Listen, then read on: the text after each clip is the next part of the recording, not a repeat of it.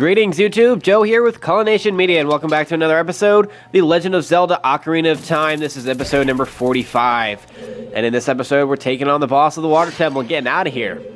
So on the third level, where this statue where we could not reach before, um, you can now use the long shot to get over there and grab some fairies in the pots if you think you're going to need them. I already have one, but I'm not really worried about it. Now you have to go up this little ramp thing, um, which kind of sucks because it's steep. The easiest way to do it is as soon as the uh, blade goes past you to start running and just not stop. Don't try to go to the side or anything like that or you'll slide down or get hit. Alright, we're in the boss chamber. Nation, look out. That isn't normal water over there. So all you need to do to trigger the fight is jump onto one of these pillars. And this is by far the dumbest boss I've ever seen. And it's a disgrace to this game because the rest of this game is amazing, and this is the worst boss fight uh, of the entire game. And because of that, I'm going to punish Nintendo by uh, taking the cheap way out, and I'm going to defeat this boss in hopefully less than 60 seconds. We'll see. I'm not really going to time it, but um, I'm going to cheap shot it. anyway, uh, it's this giant aquatic amoeba, Morpha.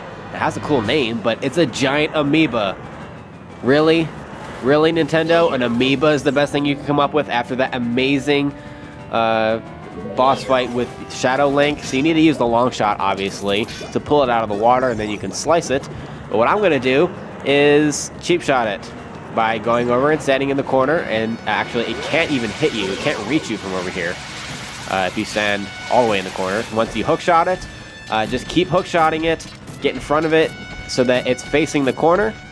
And then when you slice it, Morpha will automatically move away from you, and because of this, it's moving straight into the corner and can't go anywhere, and you can just slice the crap out of it. And if you want, pull out the Biggoron sword, do double damage, and down it goes that fast. And yeah, that's pretty much what Morpha deserves.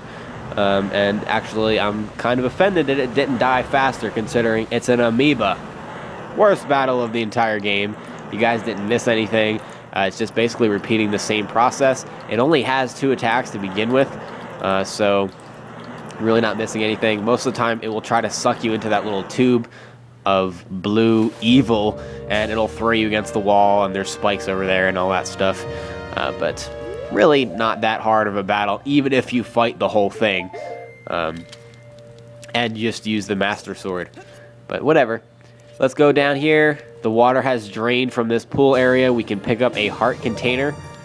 And uh, yeah, now we can teleport out of here. And we will go meet the Sage of the Water Temple and then uh, move on. So, to the Chamber of the Sages. And this sage is very predictable, um, as she's who appeared at the beginning of this temple and then just somehow disappeared at the same time. I'm guessing it was Morpha's doing. It is Ruto, the princess of the Zoras. Cullination. I would have expected no less from the man I chose to be my husband. Look, we're not getting married, bitch. Get over it. Zora's domain and its people will eventually return to their original state. Well, that's just fantastic. That's kind of why I was doing what I was doing in the first place. I grant my eternal love to you. Well, that's what I want to say, but I don't think I can offer that now. Well, golly, doesn't that just suck? Actually, I'm kind of relieved. I have to guard the water temple as the Sage of Water. And you, you're searching for the princess. Zelda? Ha! You can't hide anything from me. Whoa, Somebody's jelly, jelly, jelly, jelly. Princess Zelda, she's alive. I can sense it, so don't be discouraged. Okay, I won't be discouraged. I can tell that nothing will stop you in your quest for justice and peace. You must take this medallion. Take it respectfully. No, I'm gonna spit on it. I'm going to spit on it and rub it along the crease of my butt crack. Respectfully. Anywho, uh, yeah, it's the water medallion. That's what we get for defeating the, um, the fierce Morpha. Ruto awakens as a sage and adds her power to yours. Yeah, if you couldn't tell, I really just dislike uh, the anticlimactic Morpha boss. I think Volvagia is like a gajillion times better. I mean, I even think that Gohma in the Deku tree is a better boss than Morpha. Come on. Okay, well, with Morpha defeated and the curse being broken, Zora's domain will go back to normal and it is no longer frozen over. And the water will rise in Lake Hylia once again, just like it did in the past. And Sheik will be there to meet us when we uh, teleport back outside of uh, the water temple, back at Lake Hylia by the tree. And we're going to talk to Sheik a little bit before we get another item. Did Ruto want to thank me? Yes, she wanted to thank you. No need to stroke your own ego, Sheik. We have to return peace to Hyrule for her sake, too, don't we? No, screw her. Look at that, Cullination. Together, you and Princess Ruto destroyed the evil monster. And by together, you mean that she got captured or lost and or disappeared and then got jealous of Princess Zelda afterwards after I did all the work? Maybe that's what you mean? Whatever.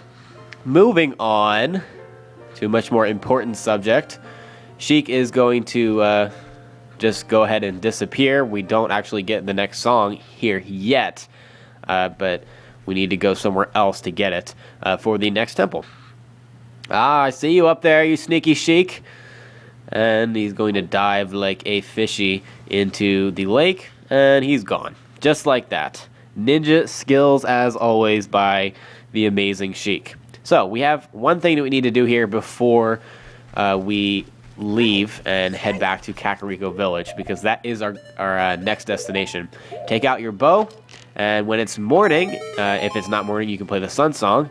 You're going to want to shoot uh, this sun directly in front of uh, that little panel, and fire arrows will uh, descend from the sun onto that platform. Uh, you can't get the fire arrows unless you've beaten the water temple or at least gotten the long shot. If you have the long shot and haven't beaten the temple yet, you can get the fire arrows. We see how Navi is uh, turning green. You can play the Scarecrow song and use the long shot to shoot up here. Anyway, we got the fire arrow. Set it to C and your arrows will be powered up. If you hit your target, it will catch fire. Uh, so this does require magic power as well as arrows, obviously. It does a lot of damage, and it also sets your opponents on fire, and this isn't actually a necessary item in the game until the end. But anyway, that's it. Okay, one more thing that we have to do that I kind of forgot about, but I want to make sure that we do it because I was on my way to Kakariko Village, and I was like, crap, I forgot this. At night, there is a golden Skulltula up here on the top of this tree. Now that we have the long shot, we can get up here. Oh, crap. Gotta kill him. Kill him. Kill him before the sun comes out. Die, die, die, die, die, die. Ugh. Goodness gracious, that was close. Okay. Now we literally have everything that we need to here. I don't know why I said literally. Totally. Back to Kakariko. I swear I am just kind of hyper today. I don't know what's going on. I don't know. Whatever. Okay, so we are heading back to Kakariko Village because this is going to be the cutscene kind of like the gateway to the next temple. Even though I don't think I'm going to do the next temple right away, I think I'm actually going to go to Gerudo Fortress first. But uh, nonetheless, the next time you enter Kakariko Village after defeating the Forest, Fire, and Water temples, this cutscene uh, will begin. And a lot of Kakariko Village is on fire here, and that's kind of strange. There's smoke everywhere, and Sheik is kind of just standing there by the well, uh, looking inside. And if you remember correctly, there's some type of evil that's supposed to be in there. At this point, we would have to head back into the past uh, to get the Lens of Truth, but since we already have that, uh, that's not uh, necessarily have uh, that's not necessarily going to be our next step because we already did that. Whoa, what is that? So some invisible force is going to come out of the well and throw Sheik to the ground, which is kind of crazy because we've never seen Sheik manhandled like that, nor have we ever seen Sheik even attacked. Uh, but this thing is uh, apparently pretty powerful. So we draw our sword, and this thing is going to come full circle and head right at us. And uh, with our current power, we really don't have anything that we can do to defend against it. And yeah, lots of screaming from Link because he just can't handle it. Uh, and this thing pretty much owns him.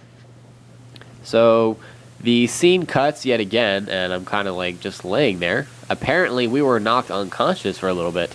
Looks like you're coming around. Yeah, thanks, Sheik. It appears that way, doesn't it? Cullination, a terrible thing has happened. The evil shadow spirit has been released. Well, I saw that. Uh, it looked very dangerous. Impa, the leader of Kakariko Village, has sealed the evil shadow spirit in the bottom of the well. But the force of the evil spirit got so strong that the seal of the well broke and it escaped into the world. Well, that could be a problem. A very big problem. I believe Impa has gone to the Shadow Temple to seal it again, but she will be in danger without any help. So, where exactly is the Shadow Temple, though? Impa is one of the six sages. Destroy the evil Shadow Spirit and save Impa. And for those of you that don't know, Impa is uh, the caretaker for Princess Zelda, and she is the Sheikah that we talked to in the past, uh, and was also the Sheikah that was riding with Zelda when she escaped from Hyrule Castle.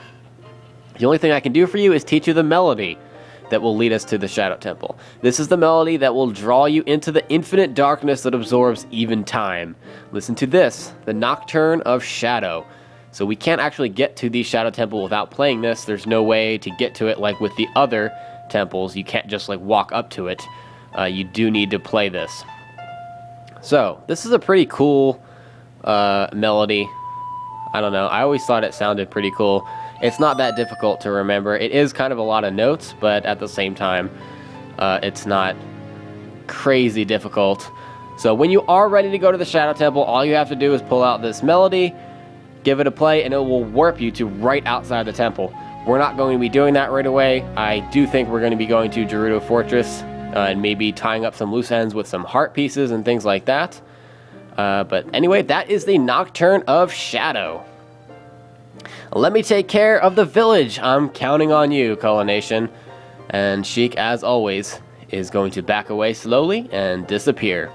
That's going to be the end of this episode, guys. Thank you very much for watching. And please stay tuned for episode number 46. Game on.